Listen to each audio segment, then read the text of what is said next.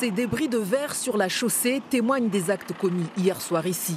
Devant le commissariat de Saint-André, une quinzaine de jeunes s'en seraient pris à des policiers. J'ai de pierres, j'ai de bouteilles d'alcool. Bilan, trois agents blessés et quelques dégradations. Beaucoup condamnent. En colère, c'est pas bien.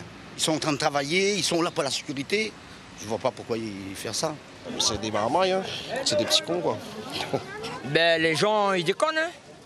Il y a un peu de la violence, et ben, mais ils ne connaissent pas pourquoi là se passe ça. Peut-être les policiers ont rodé ici, mais ils ne connaissent pas. Et ben, c'est injuste. Je pense que c'était du buzz euh, vu que c'était Halloween. Les jeunes, ils ont profité pour casser de tout. Moi, je me dis que c'est la faute à la population que s'est passé hier.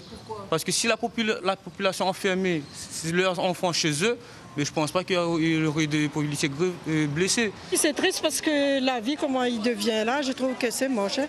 Au total, une cinquantaine de jeunes auraient commis des actes similaires dans différentes zones de cette commune.